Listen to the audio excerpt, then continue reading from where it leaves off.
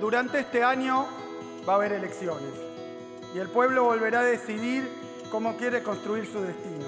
Me considero parte de ese pueblo y también tenemos el derecho y el deber de elegir.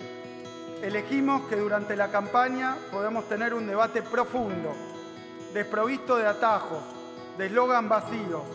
Elegimos que todos quienes aspiran o aspiramos a gobernar esta provincia nos comprometamos con la defensa de sus intereses. Elegimos condenar la violencia y el odio.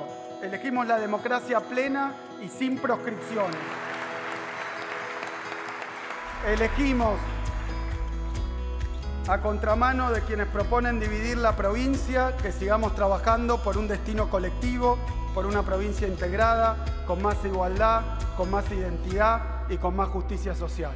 Los invito a que sigamos avanzando derecho al futuro, a que sigamos construyendo un futuro mejor, con más educación, con más salud, con más producción, con una provincia más inclusiva, más igualitaria, con justicia social, con soberanía y con independencia.